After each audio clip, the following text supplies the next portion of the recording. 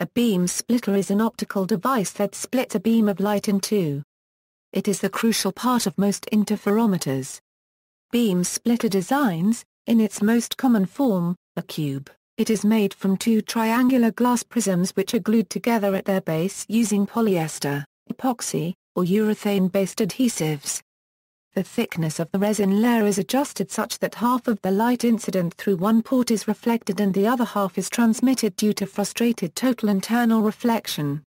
Polarizing beam splitters, such as the Wollaston prism, use birefringent materials, splitting light into beams of differing polarization. Another design is the use of a half-silvered mirror, a sheet of glass or plastic with a transparently thin coating of metal, now usually aluminium deposited from aluminium vapor. The thickness of the deposit is controlled so that part of the light which is incident at a 45 degree angle and not absorbed by the coating is transmitted, and the remainder is reflected. A very thin half-silvered mirror used in photography is often called a pellicle mirror. To reduce loss of light due to absorption by the reflective coating, so-called Swiss cheese beam splitter mirrors have been used. Originally, these were sheets of highly polished metal perforated with holes to obtain the desired ratio of reflection to transmission. Later, metal was sputtered onto glass so as to form a discontinuous coating, or small areas of a continuous coating were removed by chemical or mechanical action to produce a very literally half-silvered surface. Instead of a metallic coating, a dichroic optical coating may be used. Depending on its characteristics, the ratio of reflection to transmission will vary as a function of the wavelength of the incident light. Dichroic mirrors are used in some ellipsoidal reflector spotlights to split off unwanted infrared radiation, and as output couplers in laser construction. A third version of the beam splitter is a dichroic mirrored prism assembly which uses dichroic optical coatings to divide an incoming light beam into a number of spectrally distinct output beams. Such a device was used in three pickup tube color television cameras and the three-strip Technicolor movie camera. It is currently used in modern 3CCD cameras. An optically similar system is used in reverse as a beam combiner in three LCD projectors, in which light from three separate monochrome LCD displays is combined into a single full-color image for projection. Beam splitters with single-mode fiber for PON networks use the single-mode behavior to split the beam. The splitter is done by physically splicing two fibers together as an X, arrangements of mirrors or prisms used as camera attachments to photograph stereoscopic image pairs with one lens and one exposure are sometimes called beam splitters, but that is a misnomer, as they are effectively a pair of periscopes redirecting rays of light which are already non-coincident. In some very uncommon attachments for stereoscopic photography, mirrors or prism blocks similar to beam splitters perform the opposite function, superimposing views of the subject from two different perspectives through color filters to allow the direct production of an anaglyph 3D image, or through rapidly alternating shutters to record sequential field 3D video. Phase shift a beam splitter that consists of a glass plate with a reflective dielectric coating on one side gives a phase shift of 0 or I euro, depending on the side from which it is incident. Transmitted waves have no phase shift.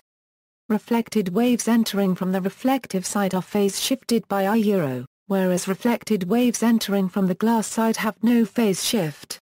This is due to the Fresnel equations according to which reflection causes a phase shift only when light passing through a material of low refractive index is reflected at a material of high refractive index.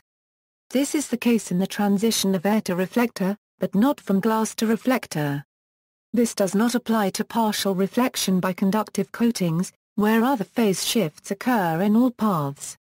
Classical lossless beam splitter we consider a classical lossless beam splitter with electric fields incident at both its inputs. The two output fields EK and ED are linearly related to the inputs through. Where the two are, two element is the beam splitter matrix.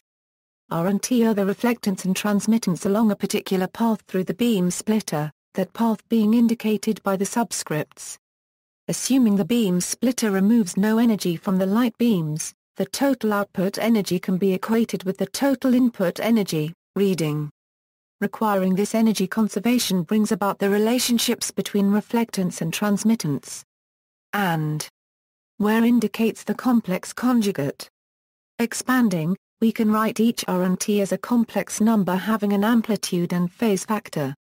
For instance, the phase factor accounts for possible shifts in phase of a beam as it reflects or transmits at that surface. We then obtain. Further simplifying we obtain the relationship which is true when and the exponential term reduces to minus 1. Applying this new condition and squaring both sides, we obtain where substitutions of the form were made. This leads us to the result. And similarly, it follows that now that the constraints describing a lossless beam splitter have been determined, we can rewrite our initial expression as using experiments. Several experiments in quantum theory and relativity theory and other fields of physics use beam splitters.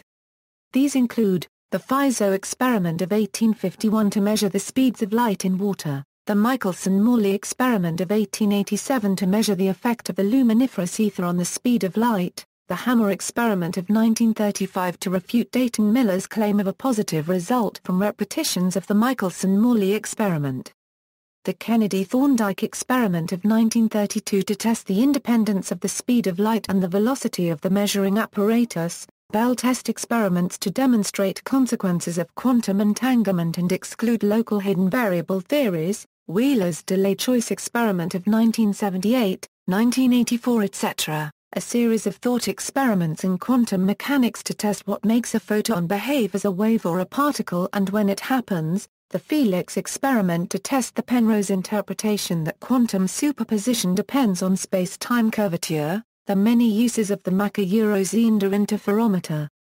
In areas such as quantum mechanics and quantum computation.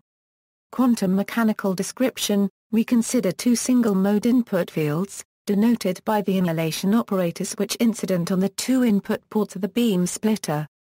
The two output fields, denoted by are linearly related to the input field by. In order to obtain the entries of the transformation matrix one must take into account that the commutation relations of the fields hold. As is well known from second quantization, one must make sure that and this, together with energy conservation yields the following set of constraints. For a dielectric 50-50 beam splitter the reflected and transmitted beams differ in phase by Assuming the reflected beam suffers a phase shift, the input and output fields are related by the unitary transformation associated with this transformation is. Using this unitary, one can also write the transforms as equals application for quantum computing equals. In 2000 Knill, Laflamme and Milburn proved that it is possible to create universal quantum computers solely with beam splitters, phase shifters, photodetectors and single-photon sources. The states that form a qubit in this protocol are the one-photon states of two modes, that is the states 01 and 10, in the occupation number representation of two modes.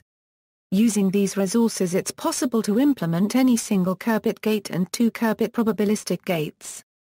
The beam splitter is an essential component in this scheme since it's the only one that creates entanglement between the Fock states. References